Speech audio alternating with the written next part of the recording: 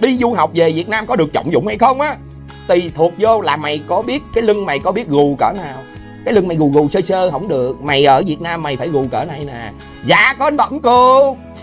Phải không? Ai mà ai mà ở Việt Nam mà lưng thẳng, dưỡng ngực phải không? Không có thể trở thành ông này bà kia được.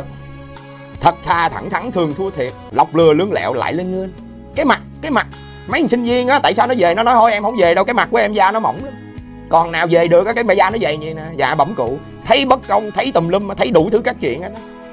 Ok những cái người tài năng á, không được phát triển không được phát huy. Cái ông ở dưới quê mới vừa chế chế tụ được chiếc trực thăng máy bay gì đó. Cái này không đúng cái này nó không có đúng chuẩn. Rồi rốt cuộc út mua nguyên cái đó luôn bê ông qua út luôn mẹ cho ông tiền luôn.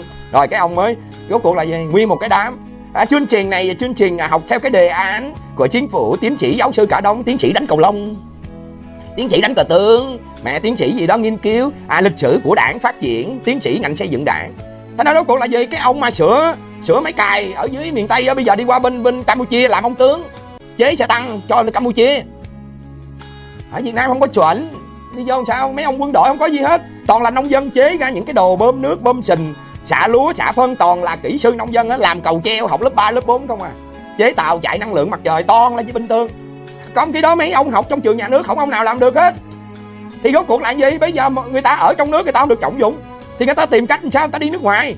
Mà khi qua bên nước ngoài, người ta tìm mọi cách, người ta ở lại. Bày đặt sai cái chữ chảy máu chất xám đâu đối xử bất công là do cái gì? Không có quan hệ.